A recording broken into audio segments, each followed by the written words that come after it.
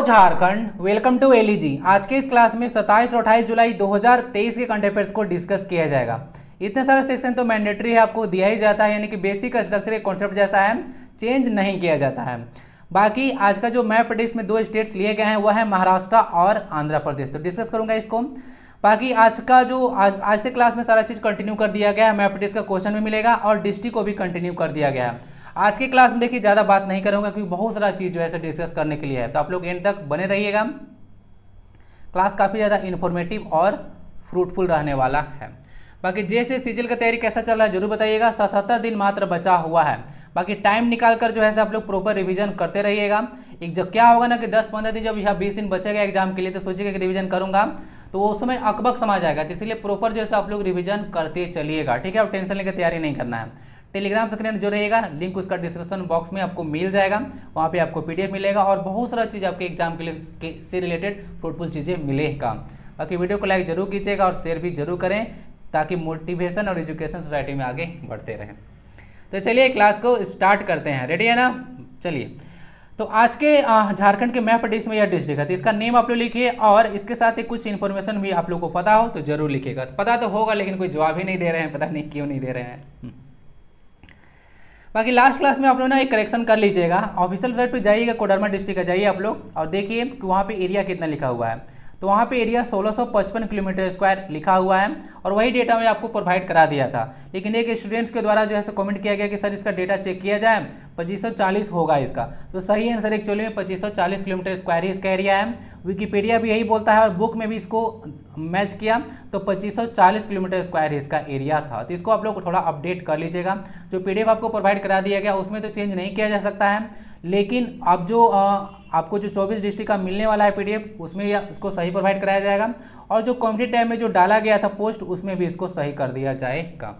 तो इसको आप लोग कर, अपडेट कर लीजिएगा ना 2540 किलोमीटर स्क्वायर एरिया है। तो इसलिए देखिए इंटरनेट से कुछ चीज़ पढ़ते हैं ना तो बहुत सारा चीज़ ना गलत होता है। तो इसको आपको वेरीफाई करना होता है। तो ये क्लास को स्टार्ट करते हैं बाकी कुछ एक्स्ट्रा इन्फॉर्मेशन भी यहाँ पे प्रोवाइड कराया जाएगा ना उसको भी आप लोग ध्यान से सुनिएगा। पहला क्वेश्चन है डबल टिक लगा लीजिए इस पर नई शिक्षा नीति एन ई पी लागू करने वाला झारखंड का पहला विश्वविद्यालय कौन सा है? रांची विश्वविद्यालय, केंद्रीय विश्वविद्यालय, रांची सीधो कानो विश्वविद्यालय, दुमका या फिर कोल्हान विश्वविद्यालय, चाईबासा। ये रांची विश्वविद्यालय रांची में है तो इसमें क्या लिखा जाए, ठीक है?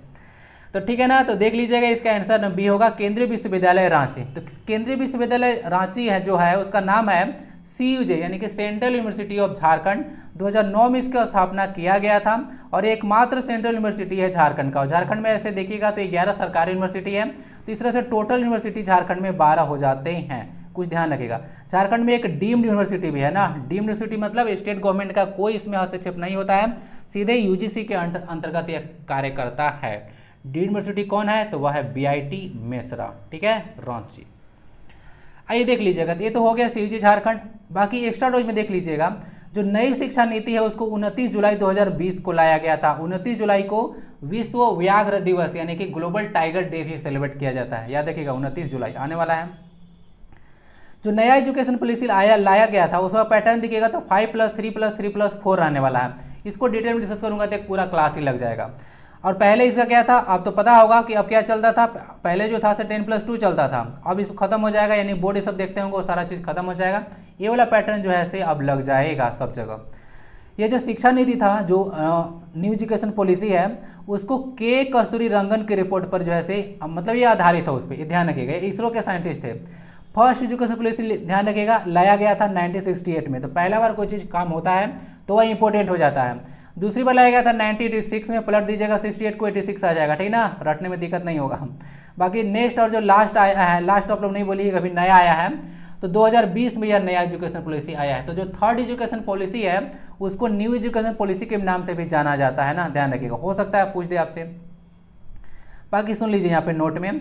जो एजुकेशन है एजुकेशन के बारे में बात हो रहा है, थोड़ा सा बात कर लिया जाए मैं भी कितनी बार आपको बता चुका हूँ कि ये जो सातवां शेड्यूल में है, वह कंकरेंट लिस्ट में है, ठीक है? कहाँ पे? कंकरेंट लिस्ट में है। बयालीसवें संविधान संशोधन के द्वारा जो है इसको स्टेट लिस्ट से उठाकर जो है कंकरेंट लिस्ट में पटक दिया गया था। उस समय टोटल पाँच सब्जेक्ट को उठाकर पटका गया था, जिसमें एजुकेशन और फॉरेस्ट तो आपको भूलना नहीं है दोनों को, ठीक है ना? ध्यान रखिएगा, दोनों भी कंकरेंट लिस्ट में है। कंकरेंट लिस्ट लिया गया ऑस्ट्रेलिया के संविधान से। बाकी शिक्षा से रिलेटेड कुछ आयोग है, देख लीजिएगा। राधा कृष्ण आयोग, ये उन्नीस सौ अड़तालीस का है, शिक्षा से इसका संबंध है। कोठारी आयोग का भी संबंध शिक्षा से ही है, नाइनटीन में आया था। तो डायरेक्ट भी पूछ देता है आपसे ना कि जैसे कोठारी आयोग का संबंध किससे है, ठीक है? तो अब कन्फ्यूज़ हो जाइएगा तो कन्फ्यूज़ नहीं होना है, शिक्षा से रिलेटेड है। रांची विश्वविद्यालय झारखंड का सबसे पुराना जो है विश्वविद्यालय है 12 जुलाई 1960 का जो है स्थापना इसका हुआ था। बाकी सारा चीज़ तो डिस्कस कर ही दिया था। नेक्स्ट क्वेश्चन है, झारखंड विधानसभा में अब विधेयक सिर्फ़ किस भाषा में पारित किए जाएँगे? हिंदी, अंग्रेज़ी, संथाली या फिर बांग्ला? आंसर इसका ही है ना? तो झारखंड का जो प्रथम राजकीय भाषा है हिंदी, उसी में जैसे विधेयक पास होगा। देख लीजिएगा, ऐसा क्यों हो रहा था? तो जैसे होता क्या है कि अभी जैसे विधेयक को जो है लौटा दिया गया था, जो जो राजभवन है उसके द्वारा। राजभवन में कौन रहते हैं? तो राज्यपाल रहते हैं। तो हिंदी, अंग्रेज़ी अनुवाद में त्रुटि के कारण विधेयक लौटा दिए जाते हैं। उसके चलते देखिएगा तो विधानसभा का काफ़ी जो है समय नष्ट होता है। विधान पहले चर्चा किया जाता है विधेयक पर, उसके बाद जो है से मतलब साइन किया जाता है, उसके बाद जो है से राजभवन को भेजा जाता है। उसके बाद राज्यपाल जो है से उस पर मुहर लगाएँगे, तब जाकर वह कानून बनेगा। तो इतना सारा प्रोसेस होता है। और मान लेते हैं, बीच में अगर सिर्फ़ टाइपिंग मिस्टेक या कुछ मिस्टेक हो जाता है, उसके चलते अगर राज्यपाल उसको लौटा देते हैं, विधानसभा उसको सॉरी विधान राजभवन उसको लौटा देता है तो फिर से ना पूरा प्रोसेस को करवाना पड़ता है। पूरा प्रोसेस फिर से छपेगा वो जहाँ त्रुटि हुआ था फिर उस पर जो है सब कोई समर्थन देगा। उसके बाद मतलब दोबारा वह काम हो जाएगा दोबारा काम। तो इसमें काफ़ी ज़्यादा समय जो है विधानसभा का बर्बाद हो रहा था। तभी वर्तमान में जो स्पीकर हैं झारखंड विधानसभा के रविंद्रनाथ महतो वह वही घोषणा किए थे कि अब जो है विधेयक सिर्फ़ हिंदी में ही पास किया जाएगा। ये सब कुछ ध्यान रखिएगा, ठीक है? झारखंड का जो मानसून सत्र ध्यान रखिएगा 28 जुलाई से 4 अगस्त तक शुरू होने वाला है तो हंगामा देखने को मिलेगा। यानी आज से शुरू हो गया है। अनुपूरक बजट भी इकतीस जुलाई को पेश होगा। ना, ध्यान रखिएगा, अनुपूरक बजट कितना रुपए का आएगा, वो सब न्यूज़ में आएगा तो फिर से डिस्कस करना ही होगा। और ये सब क्वेश्चन आपको ना डायरेक्ट पूछ दिया जाएगा। ये क्वेश्चन आपसे पूछूँ, झारखंड का जो बजट था दो हज़ार का, वह किस दिन पेश किया गया था? ठीक है, ये बताइए, फरवरी में कि मार्च में कि अप्रैल में कि मई में? फरवरी या मार्च में कन्फ्यूज़न होगा, ठीक है ना? कन्फ्यूज़न नहीं होना चाहिए डिस्कस कर चुका हूँ, बताइए जरा। स्टेटोज में देख लीजिएगा, झारखंड के जो वर्तमान गवर्नर हैं, वह सीपी राधाकृष्णन है, ग्यारहवें गवर्नर है या तमिलनाडु के पर्सनालिटी हैं। और विधानसभा के जो स्पीकर है, रविंद्र महतो ये भी वर्तमान में ग्यारहवें जो है स्पीकर हैं। ये सब कुछ ध्यान रखिएगा। पहले स्पीकर इंदर सिंह नामधारी थे। आंसर इसका ए है हिंदी, ठीक है? तो ये प्रथम राजकीय भाषा है और द्वितीय राजकीय भाषा में सोलह भाषा है ना, झारखंड का। ध्यान रखिएगा। रीड कर सकते हैं आप लोग। यही है रविंद्रनाथ महतो स्पीकर ये तो पता होगा स्टडी का क्वेश्चन है लेकिन न्यूज़ में आ रहा था। सोहराय कोबर पेंटिंग उत्पत्ति कहाँ हुई थी? इसको में इटखोरी में आ, उसके बाद मलुटी में या फिर मधुबन में? सही आंसर इसका जो है से आपका इसको हो जाएगा। तो इसको गुफाएँ कहाँ पे है? तो इसको की गुफाएँ जो है से हजारीबाग में है। इटखोरी चतरा में मलुटी जो है से मलुटी। दुमका में और मधुबन जो है से तीर्थस्थल है गिरिडीह में। ये सब कुछ ध्यान रखेगा। तो जो सोहराई पेंटिंग के बारे में बात किया जाता है तो सोहराई पेंटिंग की उत्पत्ति जो है इसको की गुफाओं में हुआ था हजारीबाग में। ये सब ध्यान रखिएगा और ये एक म्यूरल आर्ट है ना। म्यूरल आर्ट क्या होता है कि सीधे दीवार पर बनाया जाता है। सोहराई पेंटिंग का जो इतिहास है पाँच हज़ार साल पुराना है। अभी से नहीं है, पाँच हज़ार साल इसका इतिहास पुराना है।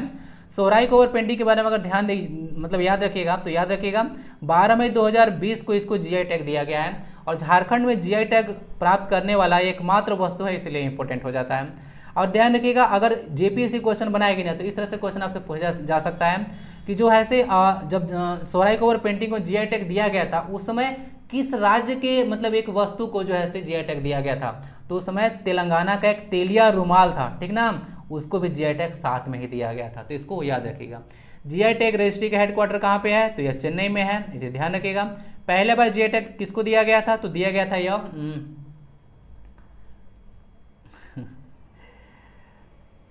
दार्जिलिंग टी को ना? चलिए, याद रखिएगा। सबसे ज़्यादा जी आई टैग है आपके तमिलनाडु के पास। ठीक है? ये सब कुछ देख लीजिएगा। न्यूज़ में निकल के क्यों आ रहा था? परिधानों पर जादू बिखेरी, बिखेर रही सोहराई पेंटिंग। तो पहले तो सोहराई पेंटिंग देखिएगा तो दीवारों पर किया जाता था। अब जो है सोहराई पेंटिंग, देखिए, वस्त्र पर भी किया जाएगा। तो आने वाले दिन में जैसे लोग आपको सोहराई पेंटिंग किया हुआ वस्त्र पहने हुए नज़र आएँगे। और जाने माने यहाँ पे देखिएगा, फ़ैशन डिज़ाइनर है आशीष। इनका पूरा नाम क्या था? आशीष सत्यव्रत, वो भी जो है से इस पर जैसे काम कर रहे हैं, यानी कि आने वाले दिन में आपको वस्त्र देखने को मिलेगा मार्केट में। तो इसीलिए जो है सारा चीज़ निकल कर आ रहा था। तो सारा चीज़ ध्यान रखिएगा। कोवर आपको पता है ना क्या होता है? कोवर मतलब को मतलब होता है गुफा और वर मतलब होता है दूल्हा। ठीक है ना? ये सब क्वेश्चन पूछा जाता है। नेक्स्ट क्वेश्चन आता है, इनमें से किस महिला खिलाड़ी का चयन महिला एफआईएच हॉकी जूनियर विश्व कप के लिए नहीं हुआ है? दीपिका सोरेंग, महिला, महिमा टेटे, रोपनी कुमारी या फिर निकी प्रधान? सही आंसर डी है ना? निकी प्रधान का चयन नहीं किया गया था। एफआईएच हॉकी जूनियर विश्व कप होने वाला है उसके लिए, ठीक है? तीन प्लेयर्स हैं, दीपिका सोरेंग महिमा, टेटे और रोपनी कुमारी। काफ़ी इंपोर्टेंट न्यूज़ निकल कर आ रहा है। देख लीजिएगा जो एफआईएच हॉकी जूनियर विश्व कप होने वाला है 2023 में, वह सेंटियागो में होगा, चिली में, ठीक है ना? ध्यान रखिएगा, चिली का कैपिटल सेंटियागो है। ये नवंबर में इवेंट होने वाला है। झारखंड की तीन खिलाड़ियाँ हैं, दीपिका सोरेंग महिमा, टेटे और रोपनी कुमारी। अभी हाल ही में तीनों खिलाड़ियों का चयन जो है जर्मनी के चार देशों के साथ होने वाले टूर्नामेंट के लिए किया गया है ना? तो टूर्नामेंट होगा तो फिर से न्यूज़ में आएगा। बाकी ये सारा तैयारी चल रहा है इसी के लिए, जो महिला एफ़ आई हॉकी जूनियर विश्व कप होने वाला है नवंबर में उसी के लिए। बाकी एक्स्ट्रा डोज में याद रखेगा हाल में सुपर मिनट क्वेश्चन है।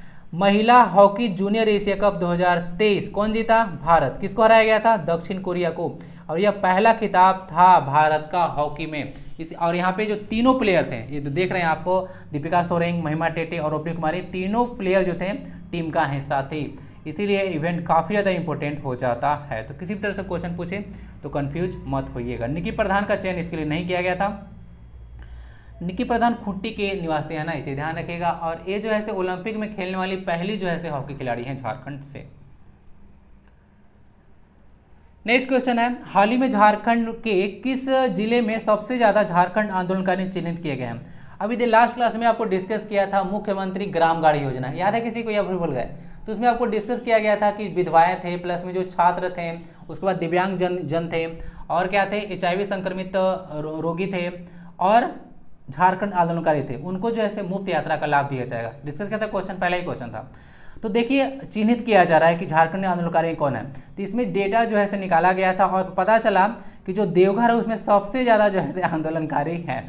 और इंटरेस्टिंग बात ये बताओ जो आपको पता होगा बारह जून बारह जून ही था ना? हम्म, या। बारह जून अठारह को जो है से स्वतंत्रता की स्वतंत्रता की लड़ाई शुरू हुआ था झारखंड में पहली बार बारह जून अठारह सौ सत्तावन को। वह देवघर ग्राम से हुआ था ठीक है? और देवघर गाँव, जो गाँव का नाम था रोहनी था और ये अजय नदी के किनारे था। ये सब कुछ तो याद रखिएगा हिस्ट्री पर्सन में आप पढ़े होंगे। तो सबसे देवघर में ही जो है से आंदोलनकारी जो है से चिन्हित किए गए हैं। यहाँ पे देख लीजिएगा, कुल जो है से झारखंड में 413 जो है से आंदोलनकारी जो है से चिन्हित किए गए हैं। जिसमें देखिएगा यहाँ पे तो सबसे ज़्यादा 132 जो है से देवघर से निकल कर आए हैं। फिर रांची में सैंतालीस, उसके बाद गिरिडीह में तैंतालीस है, गुमला से तैंतीस है, फिर उनतीस है। तो ये सब जो है से कुछ डेटा है। तो कम से कम पाँच जो है से यहाँ पे ऑर्डर लगाने के लिए अगर जेपीसी एग्ज़ाम में आए तो ध्यान रखिएगा, नहीं तो एसएससी में सॉरी जेएसएससी सीजीएल है। उसमें तो सिर्फ़ पूछेंगे सबसे ज़्यादा जो है कहाँ पे आंदोलनकारी चिन्हित किए गए थे। ठीक है ना? इंपॉर्टेंट डेटा निकल कर आ रहा था। ये सब कुछ देख लीजिएगा। अब ये सब आ गया डेटा तो क्या होगा? आंदोलनकारियों आंदोलनकारियों या उनके आश्रितों को, अगर आंदोलनकारी का डेथ हो गया होगा तो उनको आश्रितों का जो है सरकार पेंशन देगी या फिर अन्य जो सुविधाएँ सरकार प्रोवाइड कराती है, वो प्रोवाइड कराएगी। तो यहाँ पे कोई कंफ्यूजन नहीं रहा होगा। सबसे ज़्यादा आंदोलनकारी कहाँ पे निकल कर आए हैं? ठीक है डेटा क्यों इकट्ठा किया जा रहा है? सबसे ज़्यादा कहाँ पे है? सारा चीज़ डिस्कस हो चुका है तो कन्फ्यूज़न घर लेकर नहीं जाना है। ठीक है, देवघर याद रखिएगा। और हाँ एक पॉइंट यहाँ पे ये भी है कि ये जो मतलब सारा जो डेटा निकाला गया, वह गृह कारा और आपदा प्रबंधन विभाग के द्वारा सारा डेटा जो है से जो निकाला गया था, यानी कि जितना चिन्हित किया गया था, ये डिपार्टमेंट काम किया है ना? गृह कारा और आपदा प्रबंधन विभाग। ठीक है ना? कोई दिक्कत? पढ़ लीजिएगा। नेक्स्ट आता है झारखंड में हर्ष जोहार पाठ्यक्रम कितनी कक्षा के विद्यार्थियों के लिए शुरू की गई थी? एक से आठ, छह से आठ, नौ से बारह फिर एक से बारह? तो जो जोहार हर्ष जोहार पाठ्यक्रम था, वह कक्षा एक से बारह तक के विद्यार्थियों के लिए शुरू किया गया था। अब ये सरकारी स्कूल के विद्यार्थियों के लिए शुरू किया गया था। आइए बात कर लेते हैं, क्या है हर्ष जोहार पाठ्यक्रम? तो देखिएगा तो यहाँ पे हर्ष जोहार जो पाठ्यक्रम है, उसमें क्या होगा? बच्चों को जो नकारात्मक भावना होता है, उससे अनुभव से उबारना है।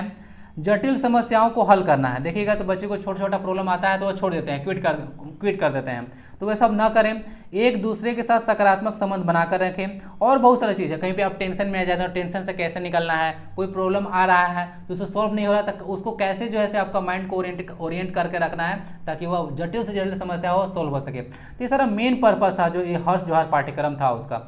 इसको दो साल पहले यानी कि दो हज़ार इक्कीस में इसको शुरू किया गया था।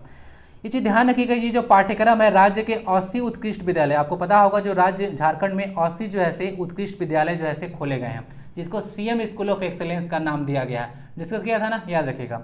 तो पाँच, जो अस्सी उत्कृष्ट विद्यालय है, उसमें और झारखंड के पाँच जिलों, चतरा, गिरिडीह, दुमका, पलामू और पूर्वी सिंहभूम के साठ विद्यालयों में लागू है। तो ध्यान रखिएगा, ये जो पाठ्यक्रम है, हर्ष जोहार पाठ्यक्रम, उसके बारे में। ठीक है? और अगेन एक बार फिर से डिस्कस करता हूँ यहाँ पे। लास्ट क्लास में डिस्कस किया था। वन से क्लास आठ से क्लास तक के लिए जो ऑनलाइन एजुकेशन दिया जाता है वो इसके लिए आपके, आपका नाम क्या है? तो डीजी स्कूल है। और नौ से बारह तक के लिए नाम क्या है? तो उसका नाम है लर्नेटिक है। ठीक है? इतना बार रिविजन करा दूँगा ना कि रट जाएगा। चलिए, इतना ही सारा, जो है से क्वेश्चन था एमसीक्यू का। अब हम लोग वन लाइनर जो है से इंपॉर्टेंट न्यूज़ यहाँ पे देखेंगे। तो सबसे पहले निकल कर आ रहा है विश्व हेपेटाइटिस दिवस। तो यहाँ पे झारखंड से इसका रिलेशन है, इसीलिए यहाँ पे लेकर आया हूँ। तो विश्व हेपेटाइटिस दिवस 28 जो है जुलाई को मनाया जाता है। पूरा हेपेटाइटिस के बारे में यहाँ पे बायोडाटा दिया गया है सुनिएगा ध्यान से।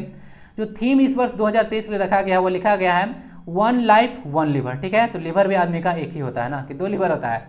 किडनी दो होता है ना? लिवर एक ही होता है। डेढ़ के लगभग वेट वेट होता है इसका। ठीक है ना? आपको पता होना चाहिए। सबसे बड़ा इंटरनल ऑर्गन यही है ना बॉडी का। और बाइल जिसको सीक्रेट यही करता है। हेपेटाइटिस का टाइप देखिएगा तो पाँच तरह का होता है ए से लेकर ई तक ठीक है? नेक्स्ट आता है इसका कारण क्या है? तो ये संक्रमित जल है सही या फिर संक्रमित भोजन है शराब पी रहे हैं ठीक है? गुटखा तिरंगा ये सब खा रहे हैं। दूसरा बात है कि जैसे मतलब असुरक्षित जो यौन संबंध होता है उससे भी होता है। प्लस में अगर आ, मतलब जो एक सिरिंज से बार बार किसी को सुई लगाया जा रहा है उससे भी जो है से यह बीमारी फैल सकता है। तो हेपेटाइटिस के बारे में याद रखेगा इस बीमारी का जो कारण है वायरस है। अब जैसा कि पहले ही बोल चुका था इसमें लीवर यहाँ पे लिखा था ना हाँ। तो ये जैसे लीवर को अफेक्ट करता है हिंदी इसका यकृत होता है लीवर का। हेपेटाइटिस बी के वायरस की खोज जो किया गया था वो डॉक्टर बारूक बलम्बर के द्वारा किया गया था याद रखिएगा। और बाकी झारखंड का जो हेपेटाइटिस बी को खत्म करने का लक्ष्य है वो 2030 तक रखा गया है ना। तो झारखंड का लक्ष्य याद रखेगा यहाँ तक कि भारत का भी लक्ष्य यही है 2030 तक ठीक है? ध्यान रखिएगा। नेक्स्ट आता है देवघर हवाई अड्डे का निर्माण वर्ष 2000 गलत है 2022 हम्म, होगा। देवघर जो हवाई अड्डा था, उसका निर्माण जो है किया गया था 2022 में, ठीक है? लगभग बोला जा रहा है कि 400 करोड़ रुपया इस पर खर्च किया गया था देवघर एयरपोर्ट के लिए। नेक्स्ट देखिए पीयूएस का फुल फॉर्म याद रखेगा ये होता है पॉइंट ऑफ़ सेल देखिए, झारखंड में पीयूएस घोटाला सामने निकल कर आ रहा है। पीओएस क्या होता है? पॉइंट ऑफ़ सेल होता है, एक मशीन होता है, जिसमें तो आप लोग तो स्वाइप करके पेमेंट कर लेते हैं, उसको पीओएस बोला जाता है। और अंगूठा का निशान लगाने के लिए भी पीओएस मशीन होता है। इसमें ना जो है से घोटाला न हो, यानी कि जो मान लेते हैं कि कोई योजना सरकार का है तो किसने, किसको आप लोग जो है से सामान दे चुके हैं, यानी जो पीडीएस होता है पब्लिक डिस्ट्रीब्यूशन सिस्टम, जो राशन दुकान होता है वहाँ पर किसको किसको जो है से राशन मिल चुका है, उसका ऑनलाइन डेटा होता है तो उसमें अंगूठा लगाया जाता है। और इसमें लोग क्या किए ना कि इसमें ही घोटाला कर दिए। तो इसको क्या किया कि सरकार जो है से एक बार नहीं खरीदी, इसको क्या किया गया कि इसको जो है से भाड़े पर चलाया जा रहा था। और इसमें न्यूज़ निकल कर ये आ रहा था कि इसको जितना जो है से खरीदने में खर्चा नहीं होता, उतना से ज़्यादा तो इसका रेंट चला गया। समझ रहे बात को? यानी कि इसका जो है से भाड़ा चला गया। तीसरे से कुछ कहानी आ रहा है तो घोटाला इसमें आया है। तो झारखंड में आप लोग देखिएगा ना तो मतलब किसी दिन का न्यूज़ उठाकर देख लीजिए, घोटाला तो आपको ज़रूर मिलेगा। इतना ज़्यादा करप्शन यहाँ पे है ना। लास्ट क्लास में भी आपको बात किया था, घोटाला आपको ज़रूरी देखने को मिलेगा।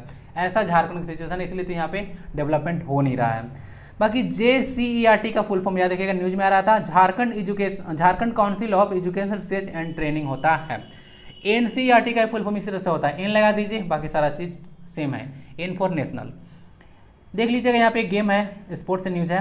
रांची जिला अं, अंतर स्कूल कैरम प्रतियोगिता 2023 तो अंडर 18 बालक वर्ग में जो जीते थे उनका नाम है समीर कुमार और अंडर 18 बालिका वर्ग में का खिताब जो जीती उनका नाम है अंशिका शर्मा। बाकी सारा रीड कर लीजिएगा इंपॉर्टेंट मुझे नहीं लगता है कि ज़्यादा है। ठीक है कि एग्ज़ाम में इसको पूछा जाए। शिकारीपाड़ा के पूर्व विधायक थे, जिनका नाम था डेविड मुर्मू ना तो पचासी साल के थे, अब इनका निधन हो गया है। तो आपसे पूछा जा सकता है शिकारीपाड़ा कहाँ पे पड़ेगा? कोई जानता है? ये जानता है तो बताइए। डिस्कस कर चुका हूँ। ये जो आप लोग मलुटी नाम सुने हैं जिसको मंदिरों का गाँव कहा जाता है, ठीक है? तो गाँव का नाम मलुटी है। शिकारी पाड़ा जो है प्रखंड है, ठीक है? और ये जो प्रखंड है, वह दुमका डिस्ट्रिक्ट में है, ठीक है ना? चलिए। शिकारी पाड़ा के पूर्व विधायक थे, डेविड मुर्मू तो अब इनका निधन हो गया, ध्यान रखिएगा। अब देखिए, यहाँ पे national international one line important news है। विश्व प्रकृति संरक्षण दिवस, यानी कि बोलिएगा तो यहाँ पे वर्ल्ड नेचर कंजर्वेशन डे है। ये भी 28 जुलाई को ही सेलिब्रेट किया जाता है। 2023 के लिए जो थीम रखा गया है फॉरेस्ट एंड लाइवलीहुड रखा गया है। नीति आयोग का भी तो हाल में एमपीआई तो आया ही था, अभी एक रिपोर्ट निकल कर आ रहा है, सुनिएगा। देश के कुल निर्यात में 10 जिलों की हिस्सेदारी 38 परसेंट है, यानी कि मात्र 10 ज़िले ऐसे हैं जो जो कि पूरे भारत का 38 परसेंट निर्यात में जो है से हिस्सेदार, हिस्सेदारी है।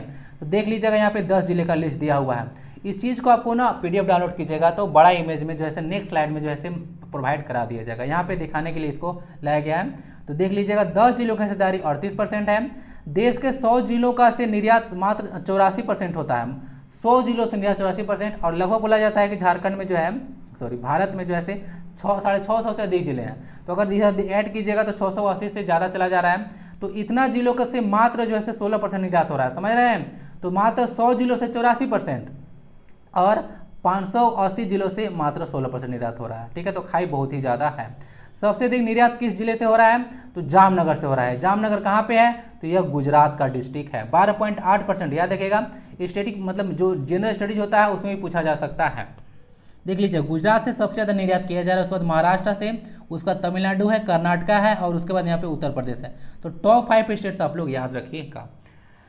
भारत के अभी तिरासीवें जो है ग्रैंड मास्टर बने हैं, आदित्य सामंत, ठीक ना? और ये हराए थे अभी आर एन चोपड़ा किसमें जो B I L B L chess M T O दो टूर्नामेंट हुआ था उसमें ना तो स्विट्जरलैंड में। तो तिरासीवें ग्रैंड मास्टर बने हैं आदित्य सामंत इनके बारे में ध्यान रखिए रखिएगा। नेक्स्ट है दक्षिण अफ्रीका के अगले उच्चायुक्त अभी बनाए गए हैं, प्रभात कुमार। नाम, उच्चायुक्त हाई कमिश्नर बोला जाता है। हाई कमिश्नर आप लोग कॉमनवेल्थ नेशन का तो नाम सुने होंगे टोटल जैसे चौवन इसमें देश हैं, राष्ट्रमंडल में बोला जाता है, ओके, राष्ट्रमंडल गेम भी होता है। तो टोटल चौवन देश हैं, ठीक है? तो जितने आ, इतने चौवन देश हैं उसमें हाई कमिश्नर बोला जाता है नहीं तो फिर एम्बेसडर बोल दिया जाता है। तो ब्रिटेन जिसको गुलाम बनाकर रखा वहीं पे आपको देखने को मिलेगा कॉमनवेल्थ और वहीं पे जो है हाई कमिश्नर वर्ड यूज़ किया जाता है। राजधानी इसका सियोल है मुद्रा यहाँ पे रैंड यूज़ किया जाता है। यहाँ पे दक्षिण अफ्रीका है यानी कि साउथ अफ्रीका है साउथ कोरिया नहीं ना साउथ कोरिया और नॉर्थ कोरिया का ओन है डब्ल्यू एन कन्फ्यूज़ मत कीजिएगा करेंसी नहीं देखिएगा वर्क बोर्ड वर्क बोर्ड जो है एक स्टेचुरी बॉडी है ना उन्नीस सौ सड़सठ में जैसे इसको स्टेब्लिश किया गया था। अब न्यूज़ में निकल कर इसीलिए आ रहा था कि जो आंध्र प्रदेश का जो वर्क बोर्ड है, वो अहमदिया समुदाय को बोल रहा था कि जो है मतलब बोला गया उसके द्वारा कि वो मुस्लिम है ही नहीं, यानी कि गैर मुस्लिम इसको करार दिया गया था। तो जो भारत के जो अल्पसंख्यक मामलों के मंत्री हैं, जिनका नाम है स्मृति जुबिन ईरानी, वो बोल रहे थे कि आपका कोई हक नहीं है कि आप किसी को जो है मुस्लिम बोले या फिर मुस्लिम नहीं बोले, ठीक है? यानी कि जितना आपका चादर है, उतना ही पैर फैलाइए, ज़्यादा पैर नहीं निकालना है, ठीक है? तो चलिए ये सब कुछ न्यूज़ में आ रहा था। ध्यान रखिएगा वक्फ बोर्ड के बारे में एक स्टेचुरी बॉडी है। 1964 में इसको स्टेब्लिश किया गया था। एस के बारे में देख लीजिएगा। एस कह रहा है कि भारत जो है विश्व की तीसरी सबसे बड़ी अर्थव्यवस्था होगी दो तक। ठीक है? चलिए, किसके किसके बाद होगा? पता चल रहा है। सबसे बड़ी अर्थव्यवस्था है यूएसए उसके बाद है आपका चाइना। उसके बाद बोला जा रहा है कि इंडिया होगा। ठीक ना? चलिए। अभी हम लोग से जापान और जर्मनी आगे है। ठीक है? इंग्लैंड को पीछे छोड़कर हम लोग जैसे पांचवी बड़ी अर्थव्यवस्था बने थे ना, ध्यान रखेगा एस के अभी चेयरमैन वर्तमान में अरुंधति भट्टाचार्य हैं, इसको याद रखेगा 1955 को जैसे एसबीआई को फॉर्म किया गया था ना, पहले इसको इंपीरियल बैंक ऑफ़ इंडिया के नाम से जाना जाता था।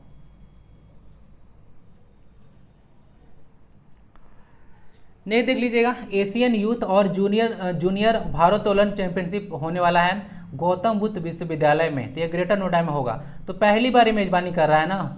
एशियन यूथ एंड जूनियर इसको भारोत्तोलन को बोलिएगा वेट लिफ्टिंग चैंपियनशिप ठीक है? तो ध्यान रखिएगा गौतम विश्वविद्यालय में होगा ग्रेटर नोएडा यानी कि यूपी में होगा। पहली बार मेजबानी कर रहा है भारत तो इंपॉर्टेंट रहेगा। देखिएगा गेम शुरू हो चुका है ना, अट्ठाईस से ही था तो इसका रिज़ल्ट निकल कर आएगा तो डिस्कस किया जाएगा नेक्स्ट क्लास में। फीडे रेटिंग लेने वाले दुनिया के सबसे युवा खिलाड़ी हैं तेजस तिवारी। उत्तराखंड के मात्र पाँच साल की उम्र में इनको फीडे जो है से रेटिंग दिया गया है। रेटिंग इनका है ग्यारह सौ उनचास। इंपॉर्टेंट नहीं है, बस याद देखेंगे इनका नाम। तेजस तिवारी हैं, उत्तराखंड के हैं, पाँच साल की उम्र में इनको दिया गया सबसे युवा खिलाड़ी हैं। लिथुआनिया भारत के जो है ब्रांड एम्बेसडर अभी बनाए गए हैं, देवेश उत्तमना, याद रखें। राजधानी इसका विलियंसस है और मुद्रा यहाँ पे यूरो चलता है, यानी कि यह यूरोप का कंट्री है। ठीक है? एक बुक है डिवोशन ऑफ़ कलर्स ना? जो कि अनीता भरत शाह लिखी हैं। Devotion of colours Anita Bharat Shah. दुनिया की पहली मानो रोबोट प्रेस कॉन्फ्रेंस हुआ था अभी जेनेवा में, ठीक है? तो जेनेवा तो पता होगा कहाँ पे है तो यह स्विट्जरलैंड में है। Under twenty one European championship 2023 किसके द्वारा जीता गया था अभी हाल में? तो इंग्लैंड के द्वारा जीता गया था। स्पेन को जो है हराया गया था। और देखिएगा तो ये अंडर 11 जो यूरोपियन चैंपियनशिप था 2023 का इंग्लैंड का, यह तीसरा इसका खिताब था। अभी देखिएगा तो एम डी मैनेजिंग डायरेक्टर जो है माइक्रोसॉफ्ट इंडिया के बनाए गए हैं इरीना घोषणा याद रखिएगा। बाकी अभी सीईओ है माइक्रोसॉफ्ट के सतर नल्ला भारतीय ही हैं। गूगल के भी भारतीय हैं, सुंदर पिचाई सब तो भारतीय ही हैं। अभी देखिएगा तो जो रोज़े पे है रेजा पे है, उसने पहला इंटरनेशनल पेमेंट गेटवे खोला है अभी मलेशिया में ना। तो ध्यान रखिएगा, बाहर खोला है तो इंटरनेशनल पेमेंट गेटवे खोला रेजा पे कैपिटल देख लीजिएगा मलेशिया का। कोलालमपुर है करेंसी यहाँ पे रिंगिट चलता है ना। Ringgit R I N G G I T ringgit Bharat का पहला कार्बन मुक्त जो गाँव है से विकसित किया जा रहा है भिवंडी को, और यह महाराष्ट्र में है, ठीक है? इसीलिए महाराष्ट्र को आज मैप में लिया गया था। चलिए तो आइए सबसे पहले महाराष्ट्र को ही देख लेते हैं, ठीक है? तो यहाँ पे देख सकते हैं महाराष्ट्र, इधर अरेबियन सी से इसका बाउंड्री लगता है। तो अगर महाराष्ट्र को आप देखिएगा तो इसको कितने स्टेट टच करते हैं? तो यहाँ एक गुजरात हो गया। उसके बाद यहाँ पे मध्य प्रदेश है। इधर छत्तीसगढ़ की सीमा भी टच करता है इसको। इधर जो है तेलंगाना भी लगता है और उसके बाद इधर कर्नाटका भी लगता है। तो टोटल इधर कितना हो गया? तीन, दो, पाँच। सही है? जी नहीं। यहाँ पे देखिए गोवा भी है, ठीक है? तो टोटल छः स्टेट जो है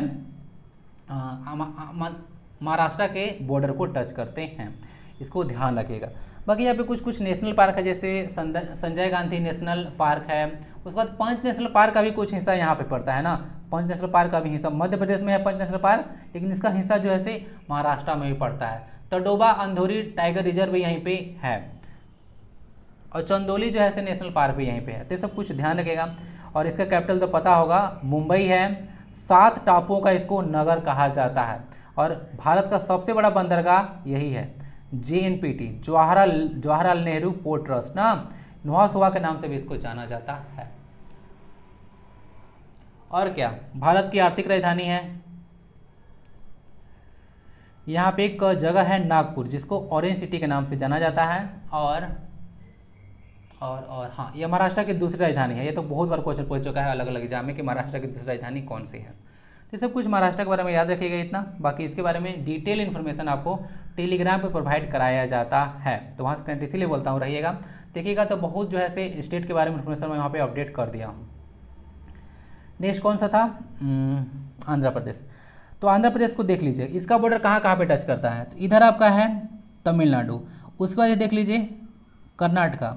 उसके बाद इधर तेलंगाना। उसके बाद इधर छत्तीसगढ़। उसके बाद उड़ीसा तो टोटल एक दो तीन चार पाँच स्टेट की सीमा इसका लगता है। आंध्र प्रदेश ठीक है? ध्यान रखिएगा। यहाँ पे बहुत ही इंपॉर्टेंट जगह है जिसका नाम है वाइजैक विशाखापट्टनम ठीक है ना? बहुत इंपॉर्टेंट जगह है। और यहाँ पे देखिएगा तो भारत का सबसे गहरा बंदरगाह वाइजैग ही है विशाखापट्टनम ना? वेंकटेश्वर नेशनल पार्क यहाँ पे एक देखने को मिलेगा और भी बहुत सारा चीज़ है। यहाँ से तो एक इंपॉर्टेंट निकल कर आया है। जैसे कि तभी तो डिस्कस किया था आपको तेलिया रुमाल जी टैग दिया गया था। दूसरा है आपका कि आ, हाँ आंध्र प्रदेश से कुचिपुड़ी जो है से निकल कर आया है ठीक है ना? तो याद रखिएगा एक क्लासिकल डांस भी आंध्र प्रदेश से कुचिपुड़ी तो क्वेश्चन बहुत बार आ चुका है। तो इसके बारे में कुछ इन्फॉर्मेशन आप लोग ध्यान रखिएगा। बाकी जो आ, आप लोग श्री हरिकोटा का नाम सुनते हैं वह आंध्र प्रदेश में ही पड़ता है ठीक है? याद रखिएगा वहीं पे एक द्वीप है।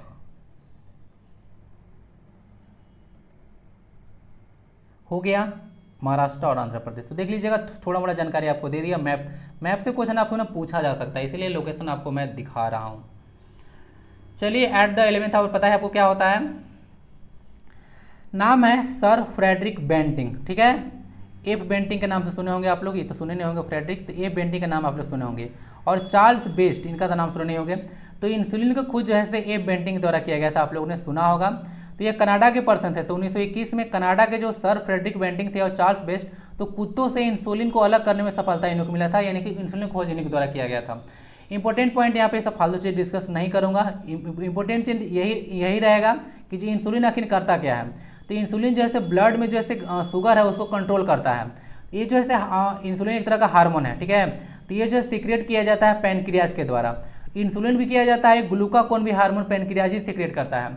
इंसुलिन जो क्या करता है ना हाई ब्लड जो शुगर है, उसको कंट्रोल करता है, और जो ग्लूकागोन है, वो लो ब्लड शुगर को कंट्रोल करता है। कहने का मतलब ब्लड का शुगर नॉर्मल रहना चाहिए, ठीक है? उससे कम हो जाएगा तो भी दिक्कत है। लो शुगर होगा वो भी दिक्कत है। ज़्यादा शुगर होगा वो भी दिक्कत है। तो हाई शुगर कंट्रोल करता है इंसुलिन और लो शुगर कंट्रोल करता है ग्लूकागोन तो दोनों हार्मोन को आप लोग याद रखिएगा। दोनों जो ऐसे पेनक्रियाज सिक्रेट करता है, हिंदी में इसको शायद अमाशय कहते हैं ना? देख लीजिएगा। सारा चीज़ हो चुका है। स्वतंत्रता आंदोलन में क्रांतिकारी कल्पना दत्त ने निभाई थी अहम भूमिका। तो यहाँ सब इनके बारे में आपको रीड करना होगा रीड कर लीजिएगा। मुझे क्या बताना था वो मैं डिस्कस करता हूँ। देखिए यहाँ पे लिखा हुआ इंडियन रिपब्लिकन आर्मी ठीक है? तो इंडियन रिपब्लिकन आर्मी का जो गठन था 1930 में किया गया था ना, इसे याद रखेगा और पर्सन थे सूर्य सेन, इसलिए इसको लिया गया था। तो इसके बारे में रीड कर लीजिएगा। बाकी यहाँ पे इंडियन रिपब्लिकन आर्मी के बारे में याद रखिएगा। इसका उन्नीस सौ में जैसे किया गया था, सूर्य सेन के द्वारा। बाकी यहाँ पे देख लीजिएगा ऑस्ट्रिया के राजकुमार के, की हत्या ने रखी थी प्रथम विश्व युद्ध की नींव। तो आपको पता होगा ऑस्ट्रिया के राजकुमार की हत्या हुआ था, वहीं से जो है प्रथम विश्व युद्ध स्टार्ट हुआ था। तो सौ में देख लीजिएगा, सर्बिया में ऑस्ट्रिया के राजकुमार फ्रांसिस फर्नांडिस की हत्या कर दी गई थी और इनका पत्नी का भी हत्या किया गया था। तो इसी गुस्साए ऑस्ट्रिया ने हंगरी के साथ मिलकर सर्बिया पर हमला कर दिया। यहीं से जो है धीरे धीरे युद्ध, आधी दुनिया को चपेट में ले लिया और प्रथम विश्व युद्ध छिड़ गया। इंपॉर्टेंट पॉइंट यहाँ पे यह आता है कि जो प्रथम विश्व युद्ध है, वह शुरू कब से हुआ और कब तक चला? तो यह 28 जुलाई 1914 को शुरू हुआ था, जो कि आपको पता होगा 28 जुलाई को डिस्कस कर रहा हूँ। 11 नवंबर तक चला था, ठीक है? ध्यान रखिएगा। 11 नवंबर को एक चीज़ लागू किया गया था। बताइए जरा क्या था वह? सी एक्ट था कि एस एक्ट था? बताइए जरा भूल गया हूँ मैं। रियल भी याद नहीं, सच में भूल गया हूँ, बताइए। ग्यारह नवंबर। बाकी ट्विटर का तो नया लोग आपको पता होगा, ठीक है? स्पेस नाम उनका है जो कंपनी स्पेस जो कंपनी है उनका नाम है नाम है स्पेस एक्स एलोन मस्क का। तो ट्विटर का तो आपको होगा मालिक यही है। तो अब जो चिड़िया को उड़ा दिए हैं और यहाँ पे इसको एक्स बैठा दिए हैं। तो नया लोगो देख लीजिएगा। अभी नाम जो है फेसबुक का मेटा किया गया था, ये भी कुछ याद रखिएगा। ट्विटर को 2006 में लॉन्च किया गया था ना, ये सब कुछ ध्यान रखिएगा। ट्विटर का भी वर्तमान में देखिएगा। ये भी याद रखिए, लीजिए। पहले वर्ड लिमिट था 140 वर्ड ना, अब जो है दोगुना कर दिया गया था। आई थिंक 2017 में बहुत पहले का है। दो सौ अस्सी, चौदह दो अट्ठाईस हाँ तो इतना वर्ड जो है से पर ट्वीट कर दिया गया है। अब है झारखंड मैपटिस का क्वेश्चन जिसमें चार ज़िले हैं लोहरदागा पूर्वी सिंहभूम, गोड्डा और कोडरमा। तो इसको आपको दक्षिण से उत्तर के क्रम में आपको व्यवस्थित करना है। तो सबसे पहले कौन आएगा? आइए मैप में इसको देखते हैं। सबसे पहले तो एक पूर्वी सिंहभूम है ना तो पूर्वी कम से कम तो कोल्हान प्रमंडल का तीनों डिस्ट्रिक्ट का लोकेशन पता होना चाहिए। सबसे दक्षिण साइड में इधर ही पड़ता है और वेस्ट सिंहभूम तो सबसे दक्षिणी जिला है। तो यहाँ पे सबसे दक्षिण में आ रहा है पूर्वी सिंहभूम यानी कि ईस्ट सिंहभूम सबसे पहले आएगा। उसके बाद लो, लोकेशन अगर देखिएगा तो इसको यहाँ पे कर लीजिए। उसके बाद आएगा लोहरदगा। आएगा ना लोहरदगा तो इसके बाद लोहरदगा होगा। उसके बाद क्या है? उसके बाद एक गोड्डा है कोडरमा है। तो देखिए गोड्डा जो है यहाँ पे है इस यहाँ पे। और कोडरमा यहाँ पे है तो लोकेशन सबसे पहले किसका आएगा?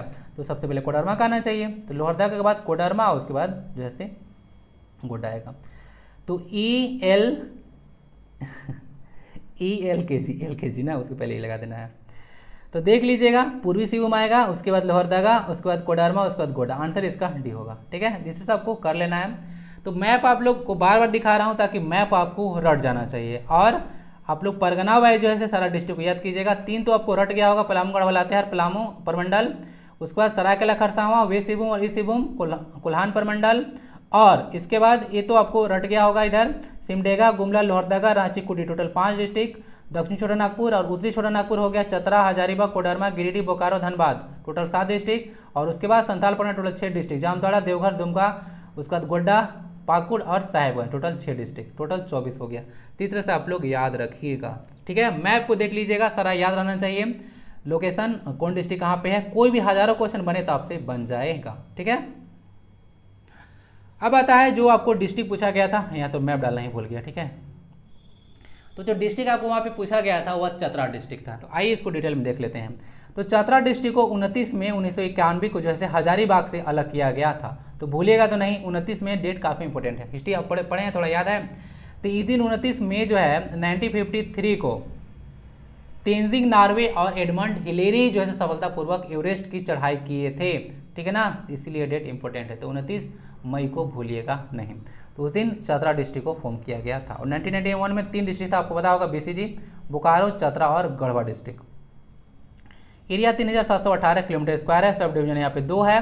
ब्लॉक की संख्या यहाँ पे बारह पंचायत यहाँ पे एक सौ चौवन है और विलेज की संख्या एक हज़ार चार सौ चौहत्तर है। यहाँ पे एक म्यूनिसिपल कॉर्पोरेशन काउंसिल भी है।